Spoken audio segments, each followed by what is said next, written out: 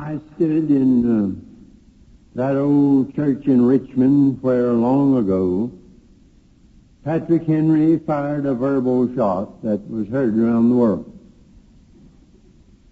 It was on March the 20th, 1775, a day when centuries were crowded into hours.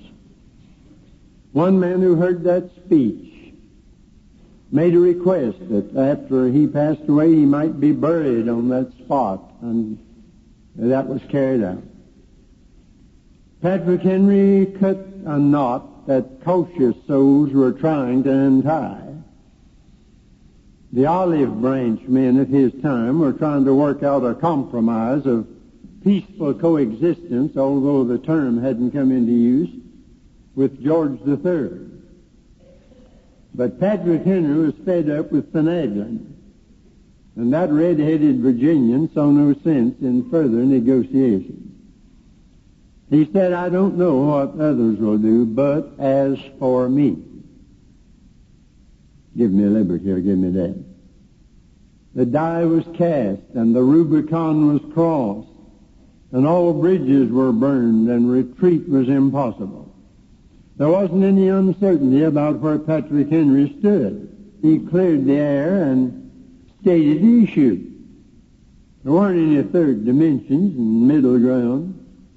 Such a speech as he gave is awfully out of date in this fuzzy day of woolly thinking, when experts in double talk, in the art of almost saying something, specialize in a straightforward way of dodging the issue. Nobody coached Patrick Henry on how to uh, mix black and white into indefinite gray. His yea was yea and his nay was nay. And while contemporaries were going around their elbows to get to their thumbs, Patrick Henry decided that a straight line is the shortest distance between two points. His speech must have shocked the school of caution, but he detonated a charge that blasted tyranny from our shores. In the 24th chapter of Joshua, you have this same phrase. Our minds go back to the Old Testament and Joshua, the great leader of Israel. They were over in the promised land by now. Through many dangers, toils, and snares they had already come. But he faced a vacillating, irresolute, hesitating multitude, easily swayed this way and that. One day singing the praises of God and the next day dancing around the golden calf. It was an hour of decision, and he gave a resume of how God had led them to this good hour.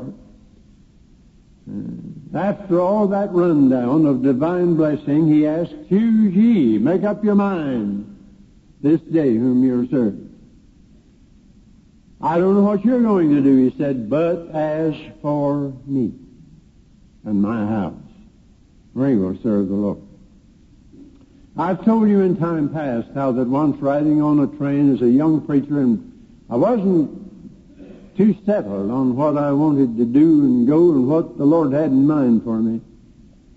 And I encountered Dr. R.A. Torrey on his way to Charlotte, North Carolina, sitting over there by himself looking for all the world like a prophet out of the Old Testament. And I walked over and sat down beside him and he never wasted words. Told him who I was. I don't think that registered much either, but he looked at me and said, what are you doing? Well, he ought never ask that, because I, my report card wasn't too good right at that time. And I told him, well, I'm interested in this a little and that a little, and tried to account for myself as best I could. And he looked at me with those steely eyes. Said, young man, make up your mind on one thing and stay with it. Many times I've gone up to Montrose to speak and I've climbed that hill and stood at his grave with the epitaph, I fought a good fight, finished the course, and kept the faith. And thank God for a man who could look me in the eye and say, make up your mind on one thing and stay with it. Well, Joshua said, I've made up mine. I don't know what you're going to do. And if ever we have uh, had a weak-kneed generation swayed by the world, the flesh, and the devil, it is today. If ever there was a time when fathers like Joshua need to say, as for me and my house, whatever the neighbors on the block may do, and uh, however they may live, and whatever society may do, and whatever the trend may be, and the style and the fashion of the in crowd, as for me and my house, we will serve the Lord. It never was so difficult as it is now when families going to pieces all over the land. When the law of God is disregarded and standards of decency and morality have been thrown in the wastebasket, and our homes have cracked up until from Maine to California, it ought to be declared a disaster area home-wise. People can't get along. Can't stand each other. I heard of an old couple in a rest home, and she couldn't hear very well, and he wanted to cheer her up a little bit, and he said, I'm proud of you. She said, hey? He said, I'm proud of you. He said, uh, she said, I didn't get it. He said, louder, I'm proud of you. She said, oh, I'm getting tired of you, too. well, it oughtn't be that way. Uh, discipline is a forgotten word, and any man who takes a stand like Joshua will be called puritanical and Victorian and an out-of-date square. I'm dumbfounded at the way parents who used to stand with Joshua have surrendered to the age and invented all kinds of excuses to rationalize their defeat and the behavior of their children. But I also know some parents and some families who are still saying, thank God, as for us, we'll serve the Lord. And they're making a go of it in spite of the, the devil. Now, if it ought to be done, it can be done. Never forget, you can do anything you ought to do. Anything that God wants you to do can be done. We come out of some preachers' schools with loads of learned lumber in our heads and never know what to build out of it. Taught to doubt it as though it were the height of ignorance not to be sure of anything. You've heard of the bed of Procrustes. If a fellow was too short, they stretched him till he would fit it. If he was too long, they chopped him off until he would fit it. And there are those today who want to stretch the scriptures or lop it off to fit the Procrustean beds of their own interpretation, judging the book and forgetting that the book's going to judge us. It's either absolute or it's obsolete. I like the way Dr. Phillips says, remarkable thing about this Bible is when you start exploring it, you feel like an electrician wiring an old house where the power has not been cut off. You might get a shock. We want teachers who can uh, appeal to our curiosity, entertain, not edify. We don't like dogmatic preachers. I do. I go to church. I like to be able to have some some idea of what the man is trying to say. When I get sick and go to the doctor, I want a dogmatic doctor. I don't want him to say, well, now, it could be this and it could be that, and we'll give you these pills. If they don't kill you, we'll try something else. I want a dogmatic doctor.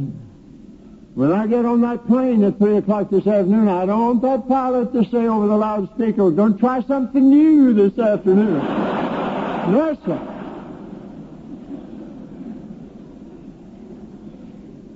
A preacher and a Christian stands out in vivid contrast to the age in which he lives.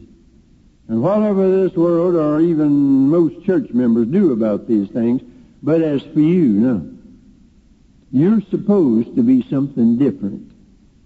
Now, just how different should a preacher be? And how different should a Christian be? Everybody wants to be different today, they say it. Never were people more alike. We've never had so much mediocrity and monotony in all history. I live across the street from the University of North Carolina and great, great place. I walk over the campus and when the holidays come, I have plenty of walking room over there. And I look at this generation in blue jeans. Makes me think of when I was a country kid hoeing corn down in a hollow. Only we had better blue jeans.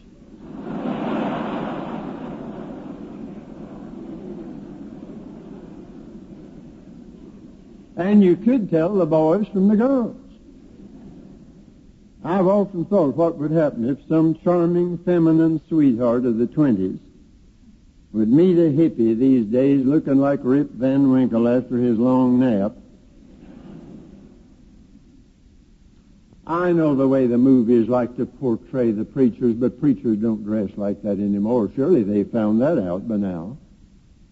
Somber parson in dark attire. I never even saw them much in my early days. We never thought of calling them by their first name. I don't care for the term reverend, but at least it did indicate some respect. Now we're at the other end of the line with Madison Avenue go-getters and backslappers and talking and acting and looking like anybody else, laughing at all the civic club jokes, sipping seven up at the country club. The prophets today are dressed in snappy sackcloth. And the church and the world are working overtime, destroying the old image of the minister. And of course we all know that he's no holier by wearing a solid black suit all the time, nor is he necessarily unholy because he puts on colorful attire. But we're erasing all the distinctions between clergy and laity and making the preacher just one of the boys, which he isn't. As run of the mill as any John Doe in a carpool on Monday on his way to work. The devil is out to smudge all the black and white into indefinite gray. Dr. Jowett said, we are tempted to leave our noontide lights in our study to move among men with a dark lantern which we can manipulate to suit our company. We pay the tribute of smiles to the low business standard. We pay the tribute of laughter to the fashionable jest. We pay the tribute of easy tolerance to ambiguous pleasures. We soften everything to a comfortable acquiescence. We seek to be all things to all men. We run with the hare and hunt with the hounds. There is nothing distinctive about our character wearing gray when we mix with the businessmen of the congregation, talking gray in conversation with them. Now that is a very dignified and very able English minister saying that, not somebody just out to find fault.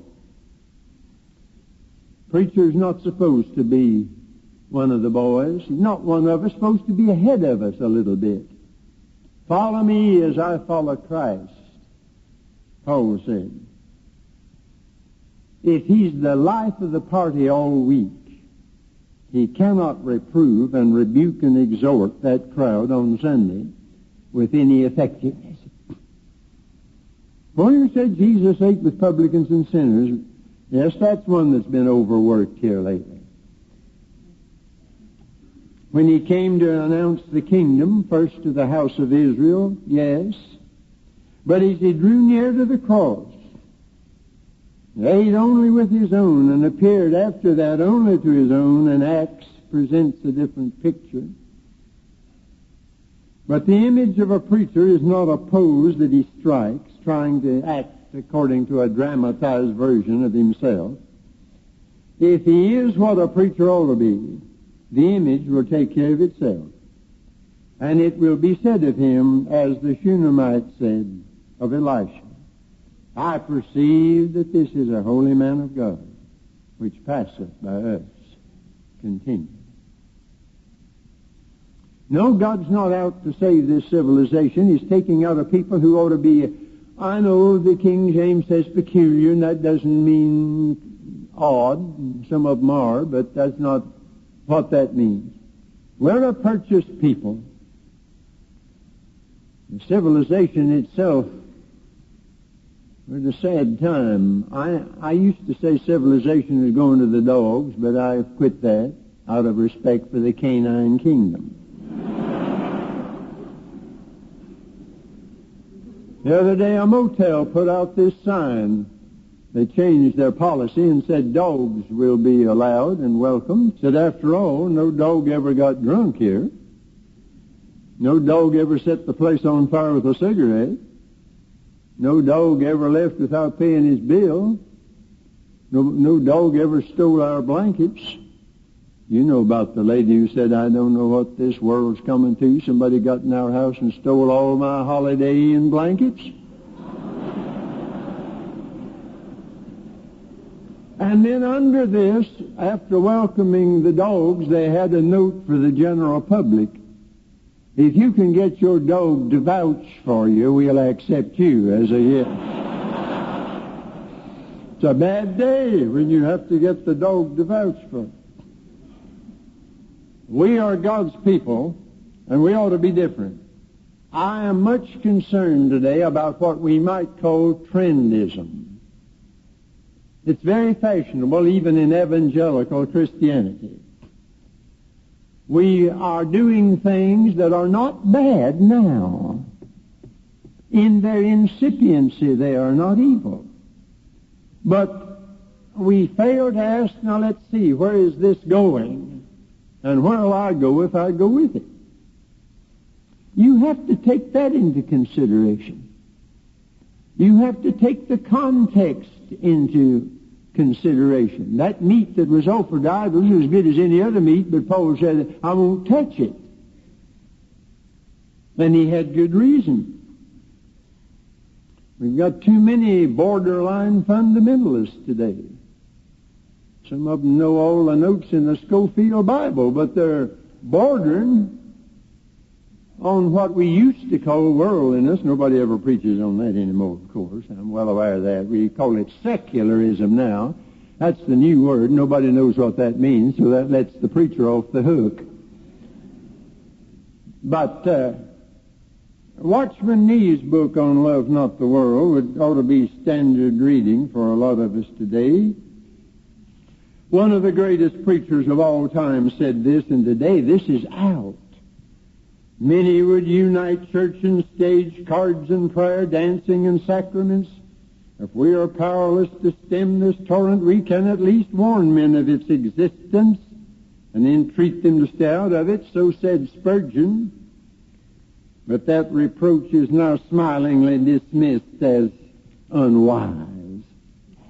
And it was another giant who said, the notion having grown that we must entertain men in order to win them to Christ, every invention for worldly pleasing which human ingenuity can devise has been brought forward till the churches have been turned into playhouses. My soul, what would he say now?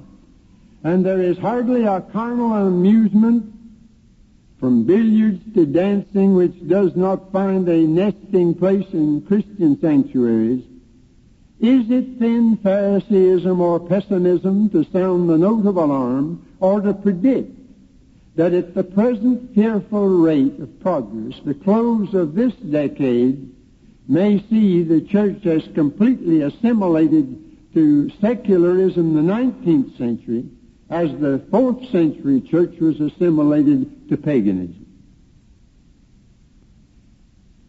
So said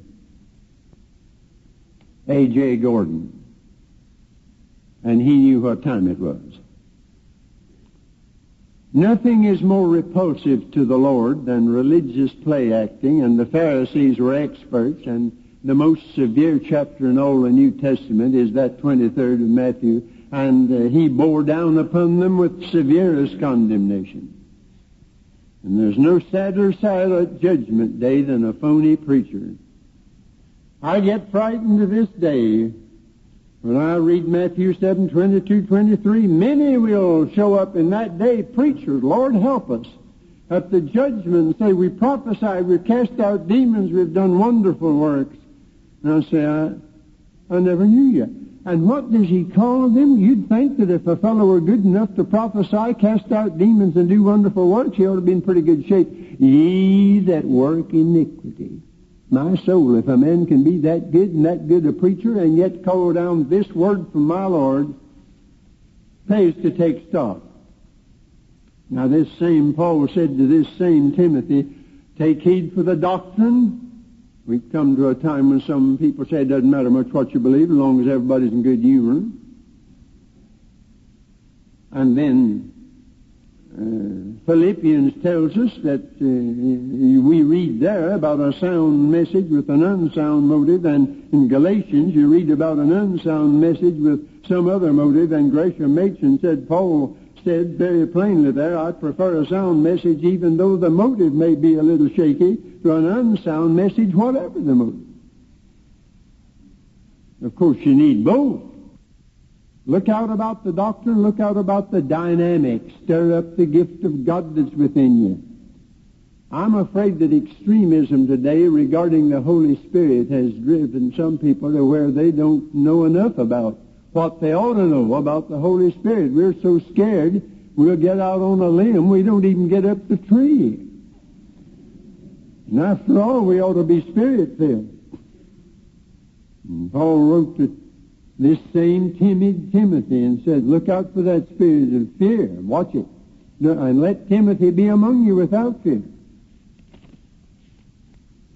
John the Baptist was a burning and a shining light. Thank God he had heat and light both. I don't know which is worse, hot-headed ignorance or cold-hearted intelligence. I know one thing, I'd rather cool off a fanatic than try to warm up a corpse. And then there's discipline, endure hardness, doctrine, dynamic, and discipline. There's no discipline today, none in the home, generally speaking, school or church. And when you have all three, you'll be in pretty good shape because you need the doctrine that you may believe and the dynamic that you may burn and the discipline that you may behave. And that's the standard and the flags are way ahead of the regiment these days. We've paid a high price in letting the world, the flesh, and the devil reduce us to mediocrity. The preacher holds a special place in the economy of God. The glamour set and the happiness boys will soon lose their charm. As McShane said, men return again and again to the few who have mastered the spiritual secret, whose life has been hid with Christ in God. These are of the old-time religion, hung to the nails of the cross hid with Christ in God, he put it. That's a wonderful place to be because was it the mother of Augustine who, when they started on the trip, and he said, Mother, you may not get back home. She said, My life is hid in God. I cannot die away from home. So don't let the times reduce you to the general average. You know what the average is. It's the best of the worst and the worst of the best. And there's nothing average about being a Christian or a preacher. And if a preacher left the ministry for the biggest job on the face of the earth, even the presidency of the United States, he'd be stepping down. It's very unpopular to be a different preacher today. Paul was that kind. But Demas couldn't make it because he loved this present world, and it may throw some light on it to know that his name means popular.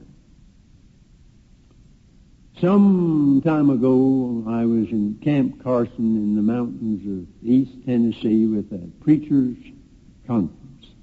Oh, what a spot. Every morning I climbed one of them before breakfast. I got up early and the first time I tried it, it's a hard pull. And uh, something said you'd better call a halt and settle for halfway. But something else said keep climbing. My legs were wobbling, my heart was thumping, and something inside said, who do you think you are? A teenager? Have you forgotten you were born in 1901? But I made it. And when I reached the summit and looked out over that breathtaking panorama, I said, well, the difference is worth the distance. Let me say to you, preacher, you Christian, anybody here, keep climbing. Some folks will only view you with contempt. The critics will say, get off your high horse and join the club. Tell them I can't do it, boys. Faith has caught the joyful sound and the song of saints on higher ground. I want to scale at utmost height and catch a gleam of glory bright. Anything else is out of the question. Elisha was on his way to see Elijah go to heaven in a whirlwind. That doesn't happen any day in the week. And the students at Bethel Theological Seminary and Jericho Theological Seminary were all along the way saying, Do you know that your master is going up there? Yes, he said, Be quiet. Once in a while there comes along in this world some Elisha who has made up his mind to see the horses and the chariots and come back with the prophet's mantle. Keep climbing. The high soul walks the high road and the low soul walks the low and in between on the misty flats the rest drift to and fro.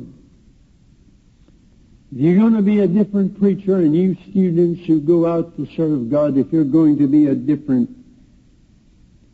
whatever you become, doesn't mean getting up earlier of a morning maybe, like old William Law who said, who am I to lie folded up in a bed late of a morning when the farmers have already gone about their work and I'm so far behind with my sanctification.